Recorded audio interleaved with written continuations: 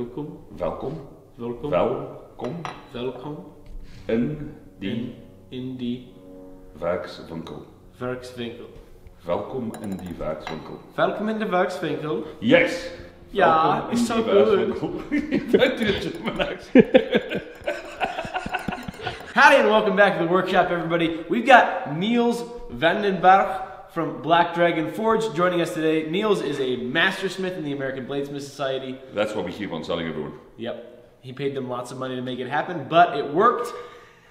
Yes, it did! Today, we're going to be digging in and doing some chef's knives. Neels is an expert on daggers and all things pointy and stabby, and we spent the first couple days in the workshop building a very cool stiletto dagger. But now we get to jump into my realm, which is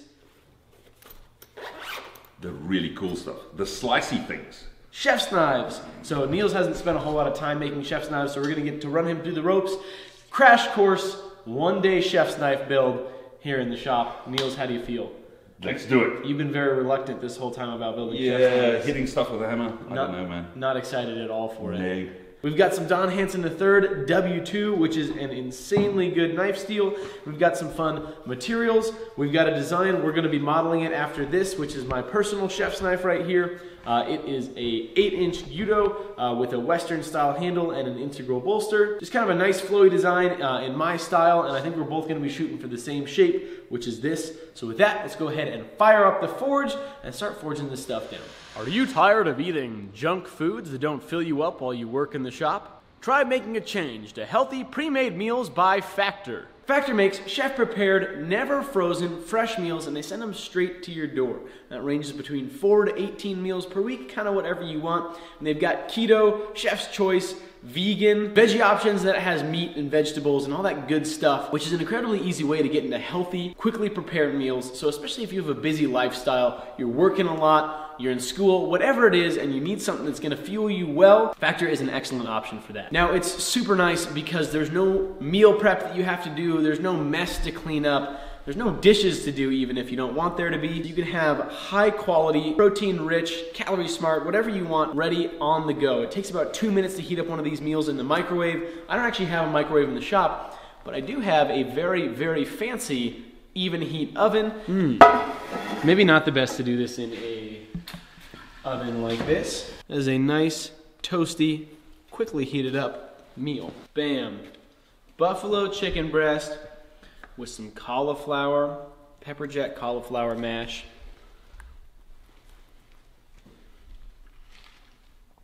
Yep. So if you're interested in getting high quality, fast meals to get some good nutrition in you, go to go.factor75.com forward slash willstelter60 for 60% off your first box. That's a heck of a deal if you ask me. So with that, let's jump back on in to making these chef's knives with Neels.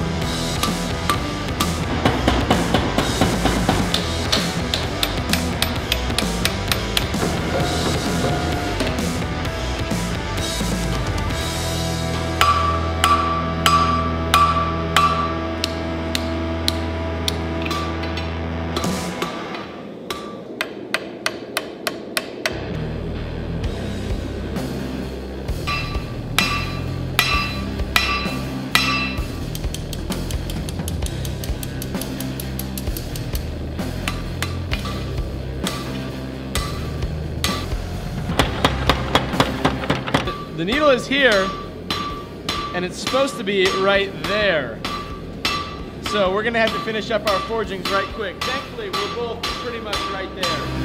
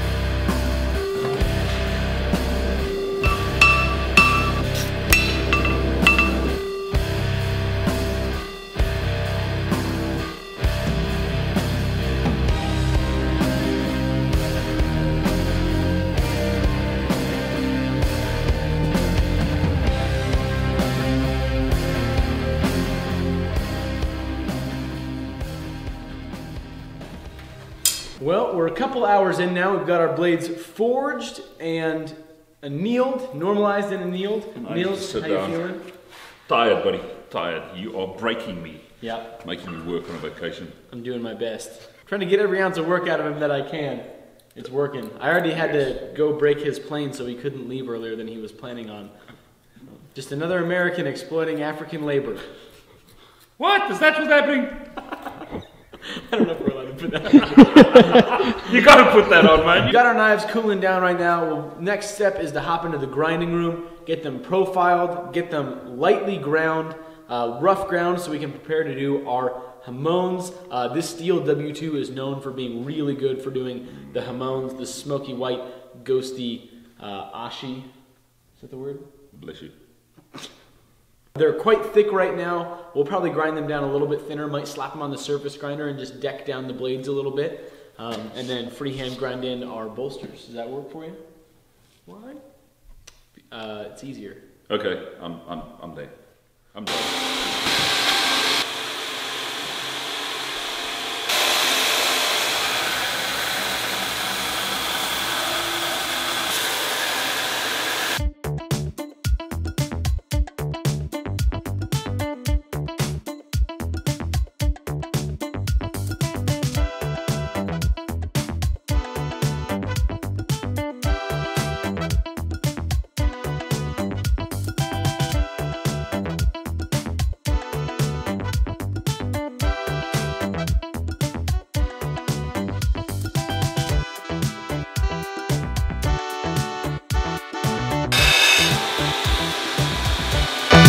Lot better, but I don't know if I've got the shape.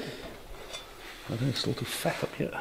You must be a master smith or something like that. Master grinder, not a smith. feels really good. Master whittler of the steel.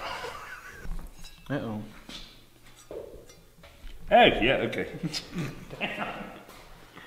All right, I'll be back in a moment. That spine all coated up. So what this does is it basically allows you to have a heat sink in the back of your knife. Um, you don't want it on the edge because it won't harden because the martensite, the hardened crystalline grain structure of our steel, won't set. And so instead it forms a different grain structure. Is it perlite that it forms? Uh, Martin's like a burlite, yeah. Squishy Auntie Pearl and hard-assed Uncle Martin. You'll never forget it again. Yeah, this stuff is super. I think it's probably oil based. Attention, irritant. Hey! So it's going to start screaming at me and really irritate the living crap out of me. That's what- Irritating to eyes and skin on contact. Yeah, not yet. It's good. It's obviously for Americans only. From what I understand, really thin layers work well. Howdy! How do you do hamons?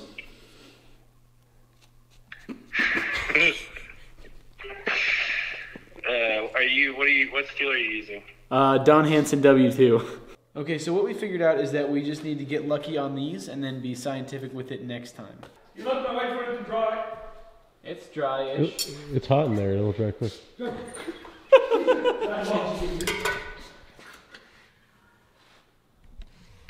that is some puff pastry if I've ever seen it. I don't know if that's gonna work.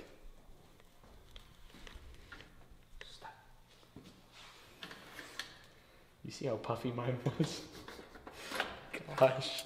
Water retention is a real thing.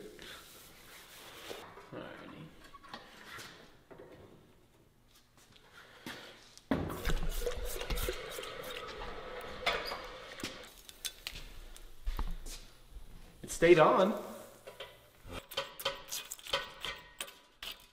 That totally like that was totally hollow.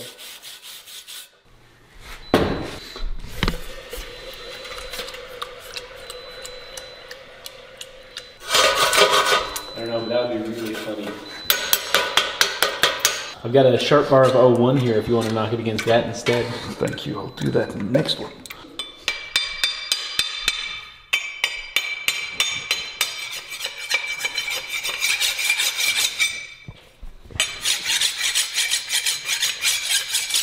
That is a satisfying sound.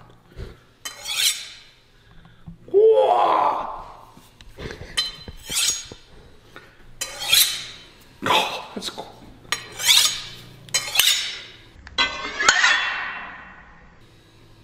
That didn't sound good. Flex that in the mouth. Oh! The hamon's good, the knife not so much. Around with that big piece of O1 on it. Oh, is, did you do that outside and then it. Yes. Because he's scraping it off with that big piece. Yeah. And then I went over the edge and I went, Whing! oh, that's nice. And we did it again. And then all of a sudden it went, thunk. And I was like, well, that couldn't, didn't sound good.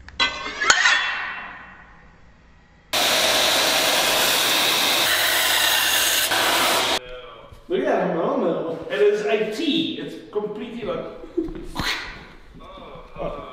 But the but the actual like ashi of it is spicy. Yeah, that's pretty nice actually. I mean, I could have done thinner fingers. I think mine has a little bit drippier action. I stopped grinding on mine and threw it right into temper after. so it cracked, and then it cracked a lot more. Um, Ooh, gosh, you can see daylight through it. that's bad.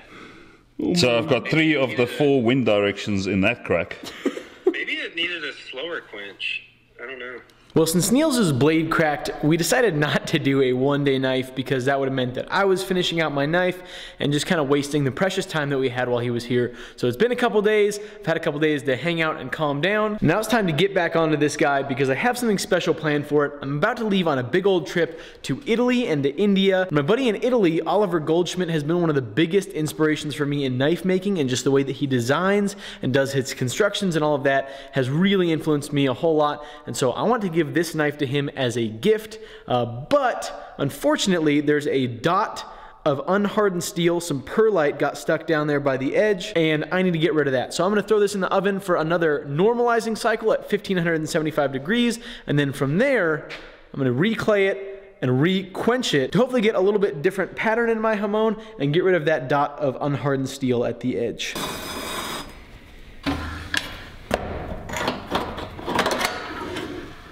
Well, it's cooled down now. Got that cool layer of oxidation on there.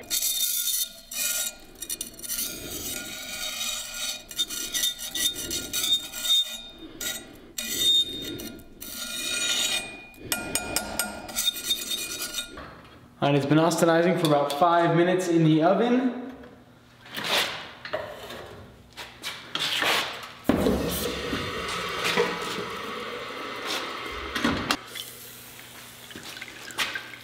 Juicy.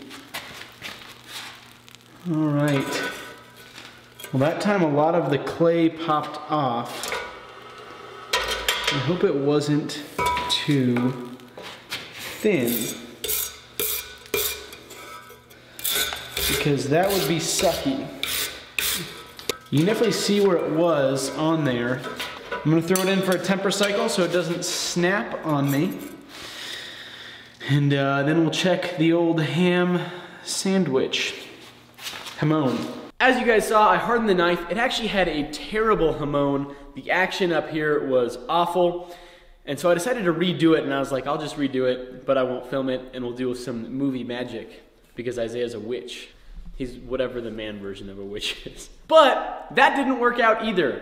The actual action of the Hamon is very cool, but it got another soft spot near the edge, just like it did the first time, right in the same spot. You can't see it. Um, and I think I messed up my acid somehow, and so I can't etch it, but it has a soft spot right there that goes all the way through. It's like 3 16ths of an inch away from the edge, which is four, five millimeters. Uh, so way too close for a chef's knife. For a chef's knife, you want to have at least a good, probably three quarters or two centimeters, 20 mil. Uh, of room along the edge because in the life of a chef's knife, you want to be able to thin it out and sharpen that thing back, and you want to have plenty of room to get a full life out of your knife. So having it that close to the edge is just unacceptable. And unfortunately, I don't have any time to fix it. I'm headed off tomorrow morning to go uh, visit my friend Oliver Goldschmidt and my other friend Jordan Lamothe. Oliver lives in Italy, Jordan is in India right now, and so I am going to have to table this one for a little bit. It is a failure, but not in the same way, not in the catastrophic failure like Neels's was. This one is fixable, but it's just kind of fighting me. Uh, and that kind of happens from time to time. You guys see it on the channel a lot. Normally, when it happens, kind of glaze over it, do some movie magic, make it look like it didn't fight me for a really long time when in reality it did. But here we don't have time to do that because I'm leaving. So I was really hoping to have this knife done by the time that I left, but that's just not simply possible. I've spent more time heat treating this knife than it should have taken to finish out the whole blade. And that's just how it goes sometimes. Anyone who makes anything understands it, especially when they're at a high level. It's kind of funny. Every once in a while, you'll have a project that comes through that just wants to fight you. For Isaiah, it's oftentimes uh, like the computer crashing or the editing program not working. That happens every once in a while. It's not all the time. Every once in a while. And he's really good at what he does, but every once in a while, the video will fight him. So we're gonna have to call it there on the progress for this chef's knife in this video. It was not a one day chef's knife. I spent like 12 hours just heat treating this thing. But we did get to have a ton of fun working in the shop with Neels. We actually did get to build another project, a Italian Renaissance style stiletto dagger. It's kind of what Neels specializes in, European style daggers. And these stilettos specifically are something he's very well known for. So it was a lot of fun to get to build this with him. We did a twisted Damascus W's blade. We used wrought iron for the fittings and we used a lovely piece of fossilized walrus ivory for the handle. This guy is as I'm currently filming, being auctioned off. So by the time this video goes live, it will have sold on my Instagram, but there will be more of them. So don't worry. There'll be a chance to get in on stuff like this in the future. So a huge shout out to Neels. Please go check him out on Instagram, Black Dragon Forge. His Instagram is hilarious. He posts a lot of great educational content on how to build daggers and his whole carving and designing process. It's super, super interesting, and he is a swell dude. So go check him out. Oh, he also has a YouTube channel, uh, which will be linked in the description down below. Huge thank you to Neels for coming over and hanging out. I had a ton of fun. He's to be back on the channel, so don't worry. Thank you to Isaiah for being excellent at everything all the time. And the next time I will be talking to you guys, it will probably be from an airport or a plane or a different country. So thank you guys for watching, and I will catch you on the next one. Bye bye.